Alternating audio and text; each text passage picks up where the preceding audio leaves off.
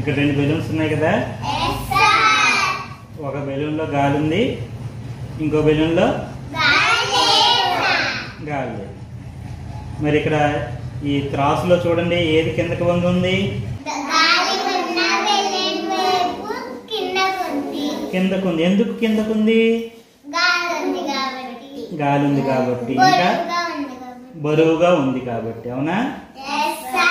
మరి గాలి లేని బెలూన్ వైపు కిందకి ఎందుకు లేదు? పైకి ఎందుకు ఉంది అది